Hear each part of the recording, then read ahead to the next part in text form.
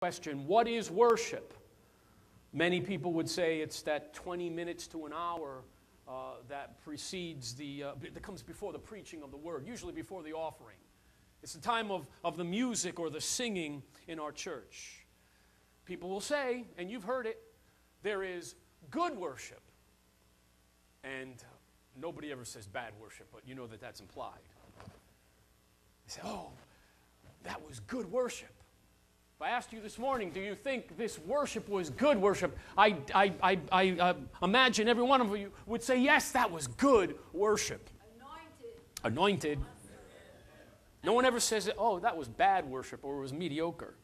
There's good worship, there's, uh, there's better worship. You know, that church has better worship than the other church. There's good worship, and then there's better worship, and there's awesome worship. We talk about in, uh, in worship in those, in those terms, but the question is uh, it, it's usually just a judgment call, or we, we determine uh, what, we dis, what we discern to be good for us. It's an assessment of the quality. Generally, we're talking about the quality of the instruments and the quality of the voices, and we, we talk about good worship or better worship. My question this morning is what is the criteria we use in judging worship? Most often, friends, it's, it's our enjoyment. say, well, I really enjoyed that worship service. That I really loved those songs. I, I really loved that music, and therefore that was good worship. If we don't like the songs or we not too fond of the quality of the voices or the instruments, we might not be so apt to say we, we thought it was good. Uh, worship often in the modern church is used as a marketing tool. Come to our church. We have, we have good worship. Or there's a church you can go to if you really like worship. You can go to that church because they have awesome worship or better worship. And we, we give these terms. And oftentimes we'll find the elevated stage. Yeah, no, you're going to hear it. And the colored lights and the smoke machines and the screaming lead guitar and all the paraphernalia that is associated with modern worship. Oftentimes people will go to churches where there is good worship or better worship or awesome worship so that they might receive something. I want to go and I want to receive and I want to enjoy myself. That church is that church is great because they, they jump up and down and, and they really have fun in worship. So we go to receive. I'm tired, I'm hungry, I'm in need, I'm depressed, I'm discouraged. So I'll go and I'll, and I'll go to worship and I'll feel better. Well, friends, there's nothing wrong with receiving from the Lord. In fact, Peter said, To whom else can we turn, Lord? For you have the words of eternal life. There's nothing wrong with receiving from the Lord. There's nothing wrong with coming into His presence and receiving from Him. In fact, I encourage you. If you have a need, if you're depressed or discouraged or have a need of healing or you're lost or, or you need anything, I encourage you to run to the presence of God. I encourage you run and, and run quickly and stay long and receive all that He has. But the problem, friends, is if that's the focus of our worship, if that's the reason we come to worship God so that we might receive, then we have completely missed the essence of biblical worship. We, have, we will, I, I say, we will have failed to worship God if our sole purpose of coming is that we might receive and that we might enjoy and that we might have. Are you with me? Worship, friends, is not a segment of our church service, but an attitude of the heart and a way of life.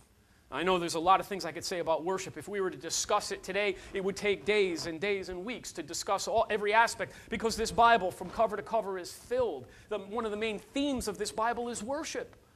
So I only have a couple of minutes. This is not a, I'm not going to enter into a whole lot, but there are a couple of things that I want to share with you this morning. First of all, all true worship begins with humility.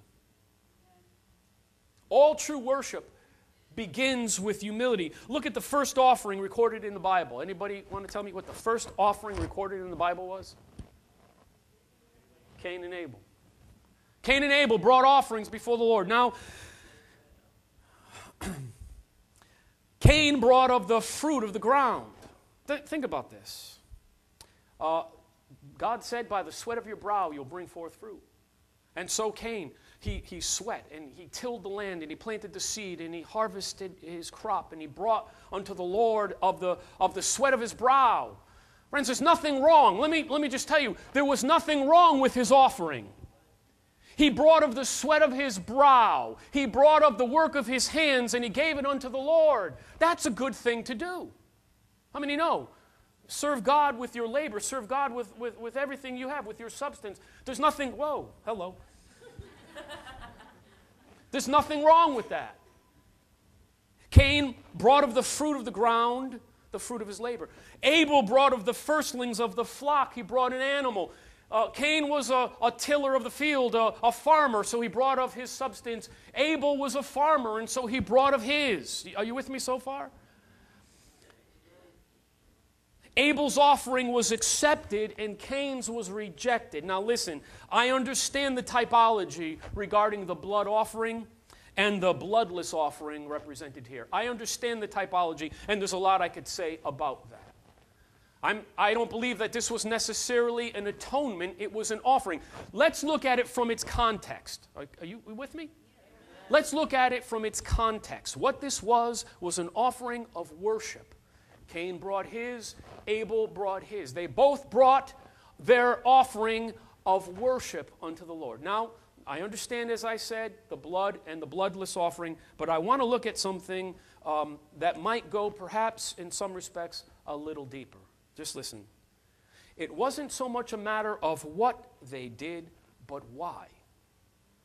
And worship is not so much a matter of what we do, but why. I said that all true worship begins with humility. It must begin with humility.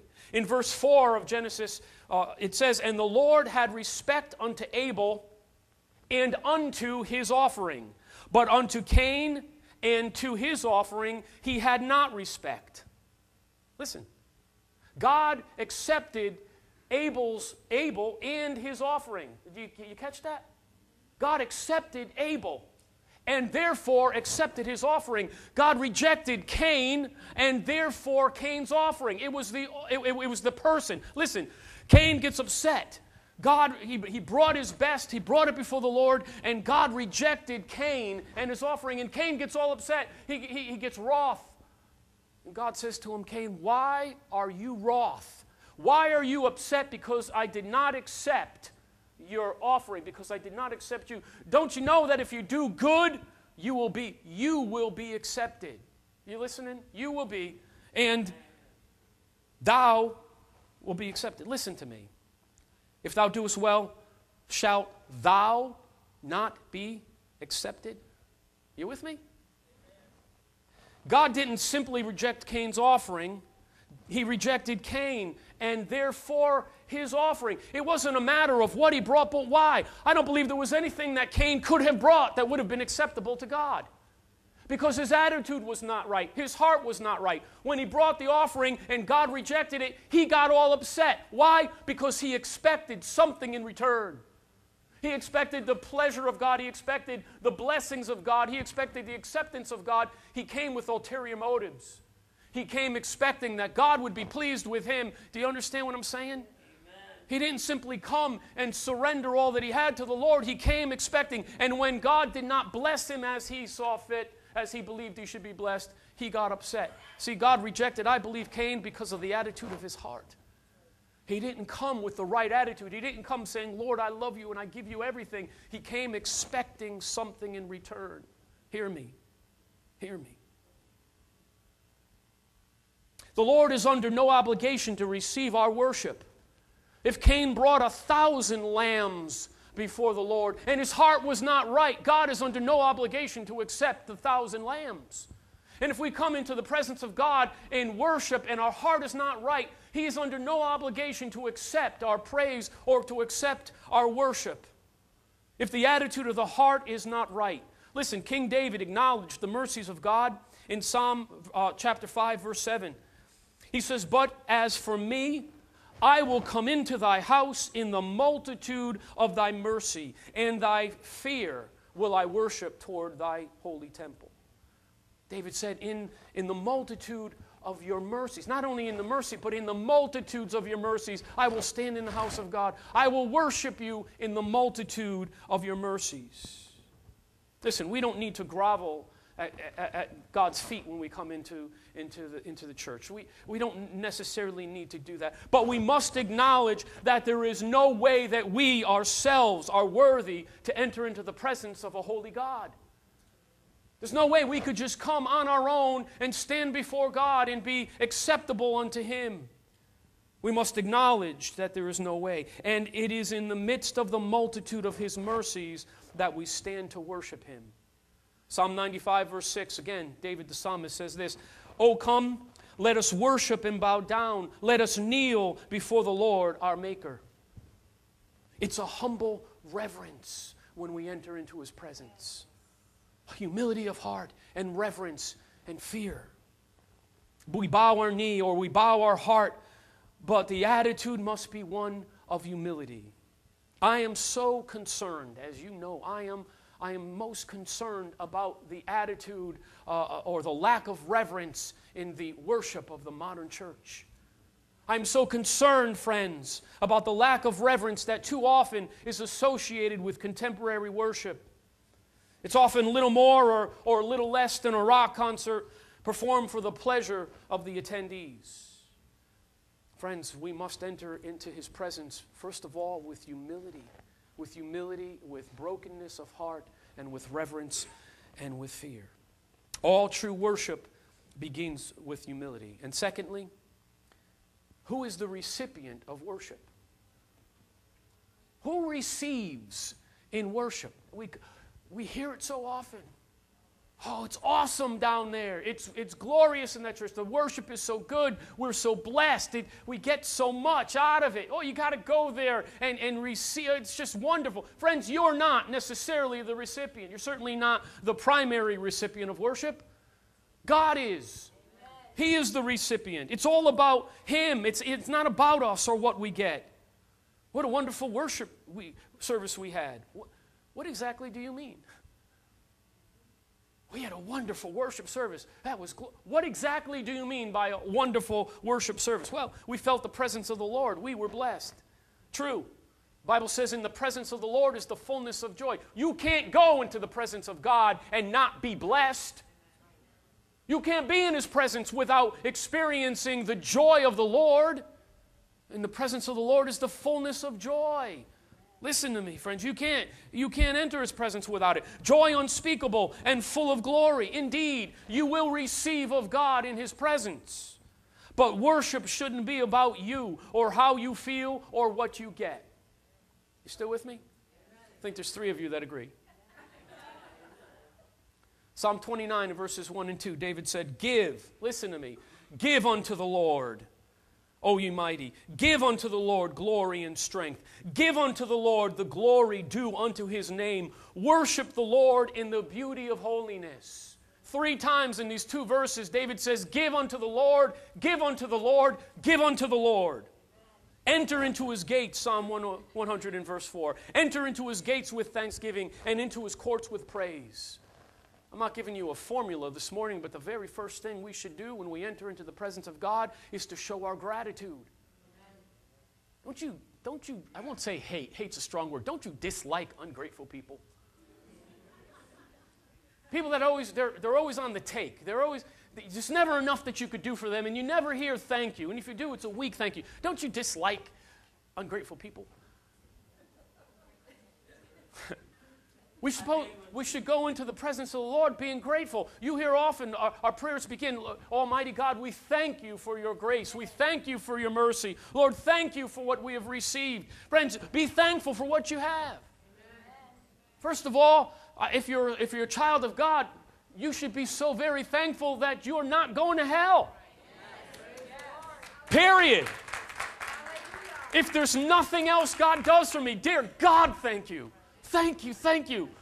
We enter into his gates with thanksgiving, being thankful for his providence, for his care, for his mercy, his grace, for everything that he has given us and all that he's promised us. Thank you, Lord, for what you've done. Thank you. Then we enter into praise, and we praise Him for all the wonderful works. Look at the beauty that He has created. Look at all the splendor of His name and the works of His hands. We praise Him. And then we worship Him and we adore Him for the almighty, glorious God that He is. Not, not necessarily for what He gives us, but just for Him. The majesty of His name. We sang about it. The glory of His being. He is worthy, friends, to be worshiped and to be glorified. Now, hear me. You still with me? Amen. This is not optional. It's not optional. Nor is it a requirement. Hear me. If it's if you just, well, I feel like worshiping God today, maybe tomorrow I won't, it's not optional. And at the same time, it's not a requirement, it's not out of duty. Cain may have come out of duty and he brought an offering because he had to. You, you follow me? I'll come and I'll go to church and I'll stand with everybody and I'll sing, but I, but I don't want to. I don't feel like it. Friends, it's, uh, you don't do it out of duty.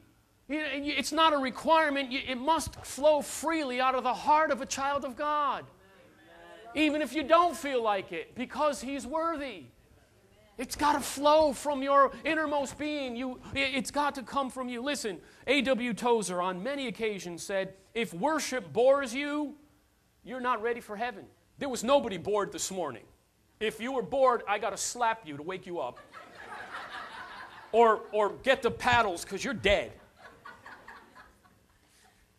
But even if it wasn't good worship, which in some on another day or in another church or someplace else, even if you were in a place where you thought it wasn't good worship, friends, that it's not again, it's not a matter of how you feel. This is what we're called to do. This is what we're saved to do to worship God. And if you're bored with worship, you're not ready for heaven. Because what do you think we're going to do for all eternity?